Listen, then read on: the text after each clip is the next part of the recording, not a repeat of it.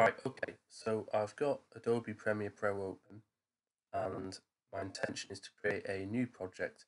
And really what I'm doing here is I'm just going to animate the actual uh, storyboard element. So I'm not looking to actually make anything, um, I'm just looking to animate the storyboard. So I've chosen to save it in my folder. I'm going to title this storyboard. Okay, we don't really need to worry too much about this for a GCSE project. So we'll go in and then it will open up another menu. So just so you know, I'm in Adobe Premiere Pro and I'm just setting up a new project at the moment. Okay, so normally it comes up with this and it's got these video settings and so on, frame size. Now the brief tells us that it is to be used on social media platforms. So actually, I'm going to have a look and I'm going to look for something. Mobile and devices would be a perfectly reasonable one, or if there is a website one, I think there is.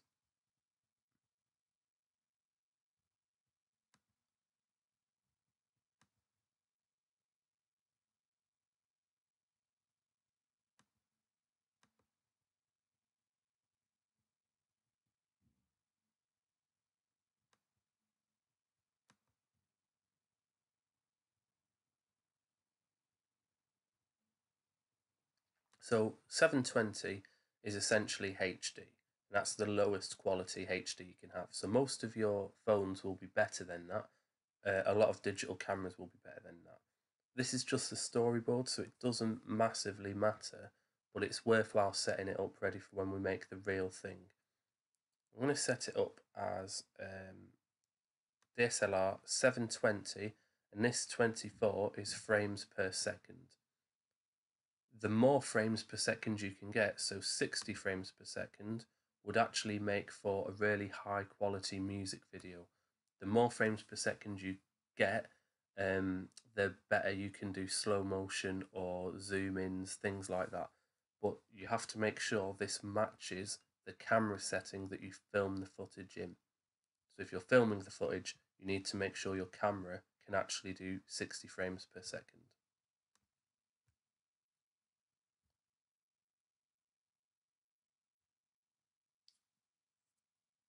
So the first thing that I'm going to do,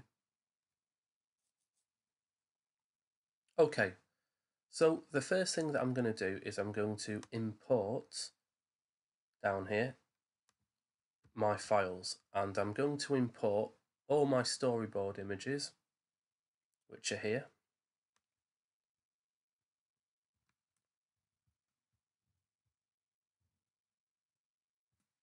Because I'm going to use these to kind of play out the video in still image format so I get an idea of how the shots relate to the music and whether or not I need to include any more scenes and so on. And I also need to import the actual music itself.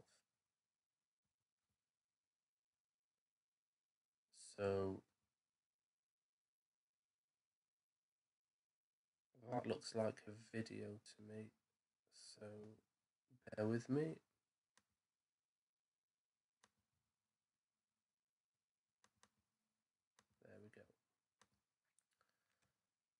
Okay, so I've, I've already edited, and you will have seen that video, I've already edited the music down to two minutes. But now I need to check that out with the music. Now this actually looks like it's gone on a bit longer. It's probably not quite the video.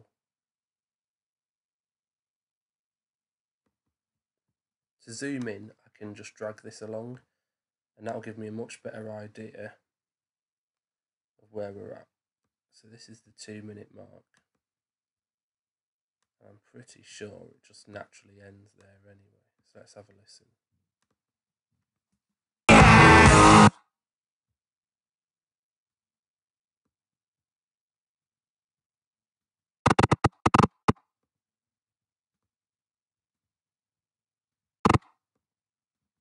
In effect controls, I can adjust the volume so I'm going to lower that to about there. And move it in and set it to normal. A bit too fast that. I can just move the dots along.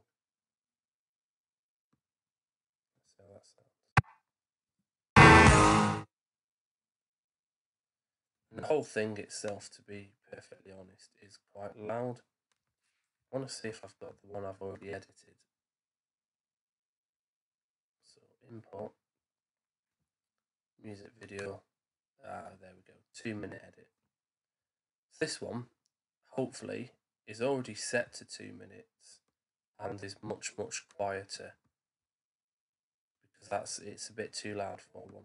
Right, perfect. Two minutes. Let's have a quick listen. Desperate need for acceptance that you just can't ignore. The lives they wish they had. Taking pictures of. Okay, so uh, the next thing to do then is to get my pictures. So that's the whole thing. And I believe I just drag it in, we can have a look at this. Yeah. Now, in order to rotate this round, I'm going to have to go to motion and we can rotate. So this is going to need to be rotated 180.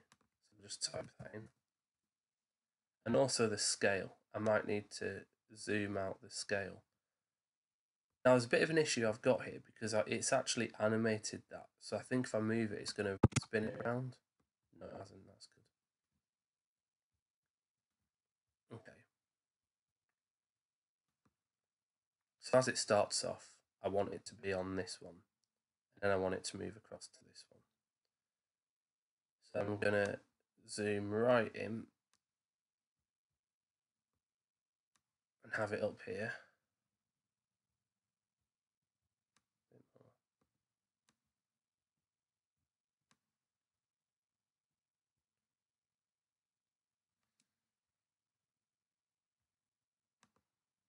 We have to tick these actual clocks in order to animate it.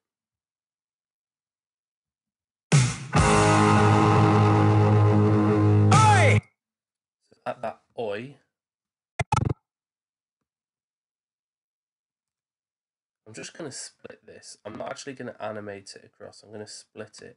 So I just want, it's actually going to be a cleaner cut than that when it gets to this slide.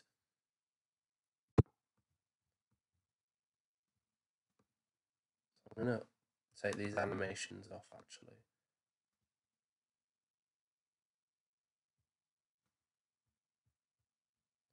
Move across, scale it out.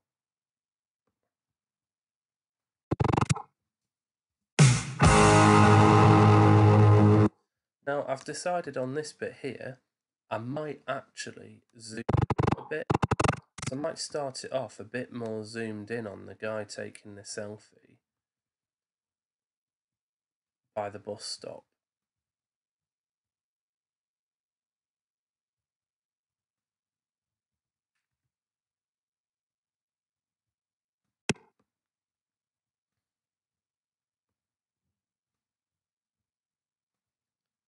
And then I might actually do a really like fast zoom out to kind of match the music a little bit.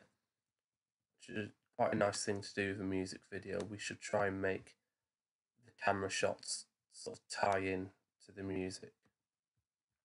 So it should zoom out from him to draw attention to this guy.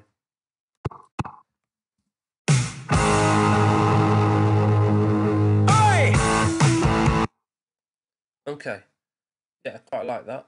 And then we'll move on to the next one. So I'm going to go ahead now and I'm just going to animate these things. So I've shown you all the tools, position, scale, razor tool or C to split and file import to put your images in. That's really all we need for this. So I'm going to go ahead and create my actual storyboard and I will show you what that looks like.